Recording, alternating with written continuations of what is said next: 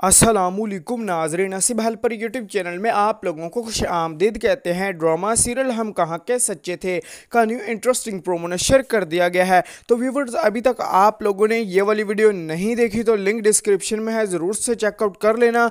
तो चलिए जल्द से वीडियो को स्टार्ट कर लेते तो नाजरीन, ड्रामा सीरियल हम कहाँ के सच्चे थे, कि नेक्स्ट आने वाले एपिसोड में आप लोग देखने वाले हो, कि नाजरीन, यहाँ पर बहुत ज़्यादा दबाव डालने की कोशिश कर रहे हैं।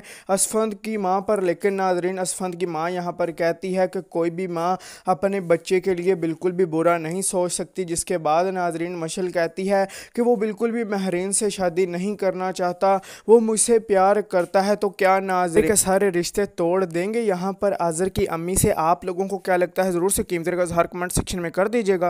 और नाजरीन, दूसरी जानब वो चली जाती है असफंद के पास और नाजरीन असफंद को बताती है कि यहाँ पर मैं वहाँ पर गई थी, जिसके बाद यहाँ पर वो सब लोग यही कह रहे थे कि तुमने उनकी बेटी की ज़िंदगी बर्बाद कर दी है। जिसके बाद नाजरीन असफंद जब सुनता है तो नाजरीन वो शौकड हो जाता है और कहता है, क्या आप ये क्या कह रही हैं? जिसके बाद नाजरीन वो समझाने की कोशिश करेगा मशल को। और नाजरीन नेक्स्ट आने वाले एपिसोड में आप लोग ये भी देखने वाले हो कि नाजरीन यहाँ पर शब्बो बता रही होती है।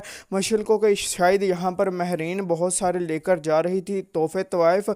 और शायद मेरे ख्याल से यहाँ पर उसे उसका ड्रेस भी आ चुका है शादी का, जिसके बाद नजरिन आप लोगों को ये दिखाया जाएगा। कि मशल बहुत ज़्यादा परेशान होती है और नाजरीन अपनी अम्मी को कहती है कि अभी तक पप्पो से आपने बात नहीं की, जिसके बाद नाजरीन उसकी अम्मी कहेगी, नहीं तो ना, नाजरीन वो कहेगी, जल्दी से बात करें, वो नहीं बात कर रही तो आप उन्हें कॉल कर लें। जिसके बाद नाजरीन वो कहती है कि ऐसे मामलों में जल्दी नहीं करनी चाहिए, वो खुद बात करेंगी। तो नाजरीन आप लोगों को क्या लगता है? और नाजरीन यहाँ पर महरीन जो है वो तैयार हुई बैठी है, दुल्हन बनी। तो नाजरीन, क्या आप शादी उसकी हो जाएगी? क्या मशल उसे रोकने में कामयाब हो जाएगी? ज़रूर सब बताएगा वीडियो चल के सब दोस्तों चैनल को सब्सक्राइब कर देना आज के वीडियो में सिर्फ़ इतना अल्लाह हाफिज़।